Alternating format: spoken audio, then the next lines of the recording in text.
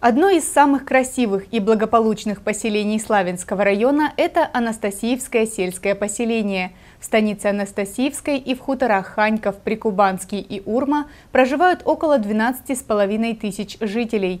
Поселение известно своей развитой экономикой и хорошим благоустройством. Каждый год здесь происходят изменения к лучшему. В этом мы убедились, побывав на сессии Совета поселения. О том, чего удалось добиться за прошлый год, глава Анастасиевского сельского поселения Александр Семко на расширенной сессии Совета доложил жителям и депутатам. Был сделан подробный анализ сделанного. За 2023 год поселением выполнены плановые показатели по формированию бюджета. Собственные доходы выросли на 6 миллионов 334 тысячи рублей. На выполнение мероприятий по благоустройству, жилищно-коммунальному хозяйству, безопасности дорожного движения за год было израсходовано 44 миллиона 873 тысячи рублей. 31 миллион 149 тысяч рублей пошло на ремонт улично-дорожной сети. На выполнение мероприятий по благоустройству, жилищно-коммунальному хозяйству, безопасности дорожного движения в 2023 году было израсходовано почти 45 миллионов рублей. Основные расходы были произведены, произведены на ремонт улично-дорожной сети. Их объем составил 31 миллион 149 тысяч рублей. Основными программами, исполнение которых осуществлялось на территории поселения, стали капитальный ремонт асфальтобетонных дорог и ремонт дорог общего пользования. Выполнен капитальный ремонт автомобильной дороги по улице Пролетарской, от улицы Красной до улицы Краснодарской, протяженностью 549 метров на сумму более 10,5 миллиона рублей.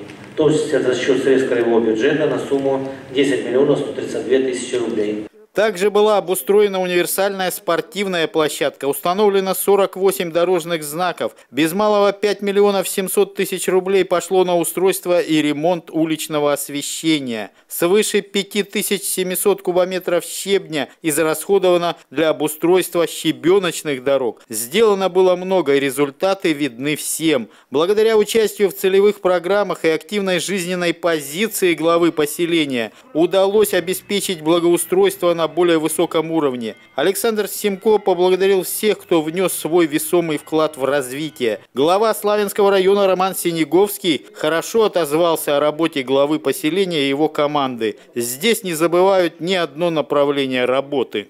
Работает большая команда. Один, как говорится, в поле не воин. И задача главы все-таки прежде всего сформировать команду, правильно подобрать людей, да? создать условия нормальные для работы, чтобы люди могли реализоваться, раскрыться, чтобы у них э, была инициатива какая-то.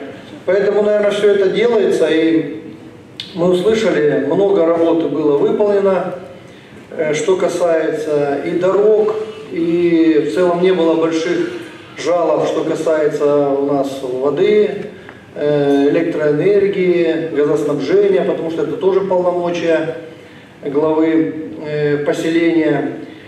5708 кубов щебня было завезено. Я всегда привожу пример, что Анастасийская хорошая практика, где вы сообща выполняете эти работы. Также Роман Синеговский рассказал о том, что было сделано в 2023 году по социально-экономическому развитию муниципалитета. В поселении еще, конечно, есть нерешенные вопросы, но они решаются, и с каждым годом проблем становится меньше. Председатель Совета Славянского района Григорий Литовка отметил, что депутаты районного совета сделали многое для поддержки динамичного развития сельского поселения. Мы тесно взаимодействовали с администрацией, со специалистами администрации, с хозяйствующими субъектами на территории нашего поселения.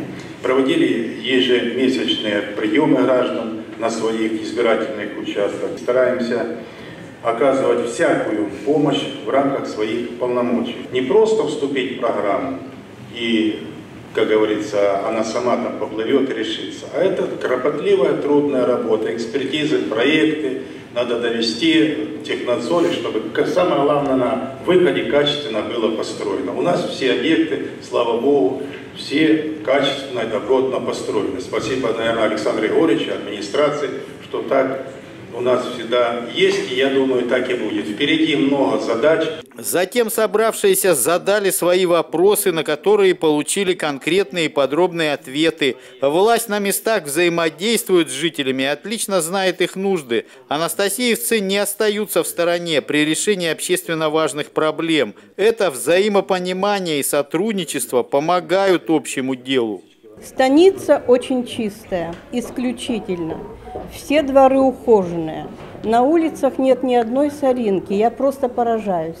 Это исключительный глава, который всего себя отдает работе, которому в любое время, если срочно нужно попасть, он всегда примет. На улице идет, где-то в кабинете сидит или что-то еще. Всегда поможет советом, и все, что нужно, всегда поможет. При нем открыли храм. Я с большим уважением отношусь к нему, и всегда, если нужна будет какая-то помощь, я готова помочь. Очень люблю свою станицу.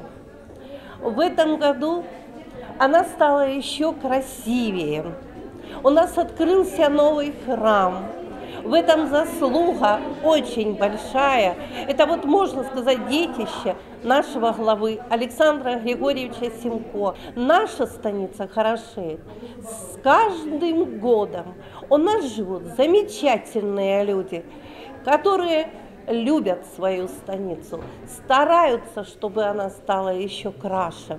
Нашему детскому саду было присвоено звание «Казачий детский сад». Что это значит? Это значит, что у нас растут юные казачата, которые любят свою малую родину, которым мы прививаем с детства любовь к своим предкам, э, учим их, э, изучаем мы историю с ними. Большие задачи стоят перед поселением и в нынешнем году планируется участие в краевых и федеральных программах. Работы по благоустройству будут продолжены. По итогу расширенной сессии депутаты единогласно признали работу главы администрации поселения удовлетворительной.